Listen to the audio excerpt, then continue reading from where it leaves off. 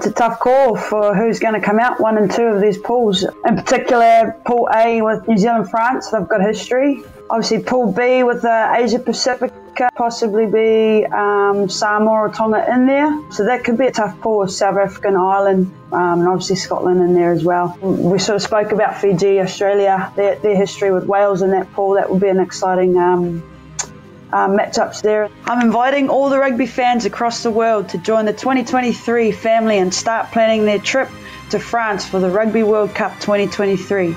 It's going to be a fantastic World Cup.